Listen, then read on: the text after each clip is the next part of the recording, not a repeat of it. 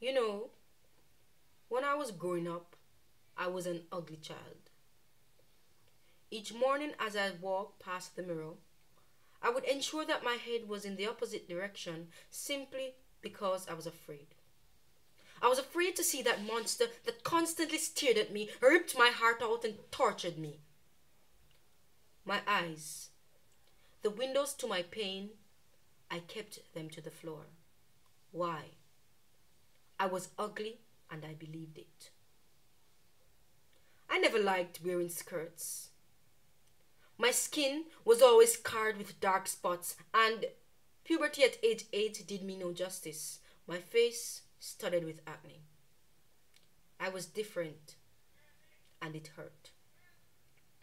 In high school, I would always hear the snickering and giggling at the back of the room. My hair, it was always unkempt. They laughed, but no one seemed to realize that was only a reflection of how I felt. I was deemed an African. Yes, an African, because all Africans were dark, degraded, and debased. The sadness of this story, those words were words from voices of my race. Teachers, they made snide remarks, disturbing comments. My hair, it was never of the perfect length. I was ugly, and I believed it. I had friends but eventually I became detached. At nights I would find myself alone, crying, battered. I yearned for acceptance.